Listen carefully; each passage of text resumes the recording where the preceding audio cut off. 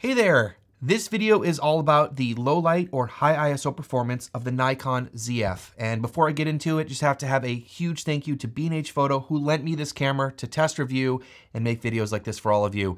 There are links in the description for the ZF and all the gear that I use on a regular basis. So go check out B&H if you're looking to pick anything up. And thanks again for making this video possible. All right, I will be comparing the Nikon ZF with the Canon R5C, which is really not known for being an extremely good low light camera, but it does really well in that middle ISO range. And also it's just the camera that I have to compare this camera against. So I will be comparing the R5C. Now, the first thing I wanna talk about when it comes to high ISO performance is noise reduction because a lot of these mirrorless cameras have noise reduction in the built into the camera that you can't change.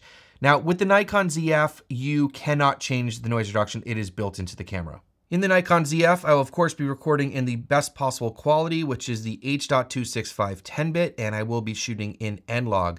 But if I scroll down here to where you can change the noise reduction, it is grayed out, high ISO noise reduction, and when you click on it, it says this option is not available at the current settings or in the current state. So there's definitely noise reduction that's being baked in and we can't control it, which is pretty common for a lot of mirrorless cameras.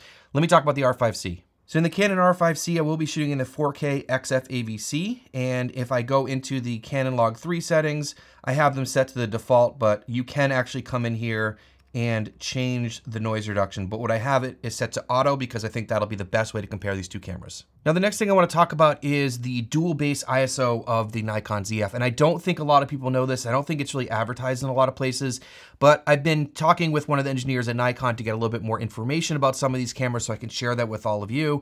And he said that the Nikon ZF actually has a dual base ISO of 800 and 6400 when shooting in N-Log. And we will confirm this when we look at the ISO tests.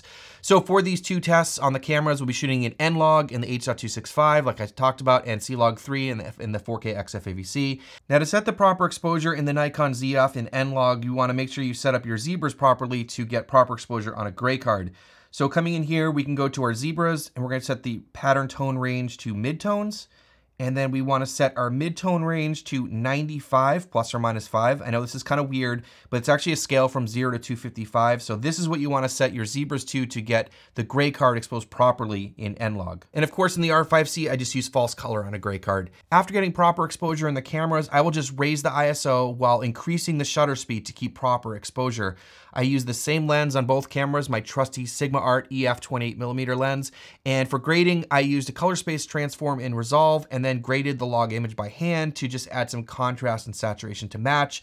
I didn't adjust the colors whatsoever.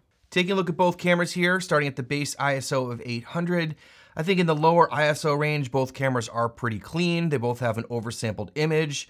And going up through the range here, you'll start to see that as the noise increases, you'll see a little bit more blockier, more smeary looking image in the ZF. And I think that a lot of that has to do with the noise reduction in the cameras. Now, the R5C has a dual base here at 3200, so you'll see it clear up there. Now in this middle ISO range here, I definitely think the R5C is cleaner as we come up to the second base ISO of the ZF happening at 6400. So take a look here, it hits the second base ISO. It cleans up a little bit. Uh, I wouldn't say it's a huge cleaning up, but there is a little bit of a cleaning up going up that 6400. In this higher ISO range here, up to 10,000, I give an advantage to the R5C. Once we start looking at 12,800 and up, I think they start to look a little bit more similar in terms of luminoise. I think there is more chroma noise in the ZF. And it's a really easy to be critical about that zoomed in 400% look, but if you look at the actual image, I think both of these cameras do decently well in the higher ISO range.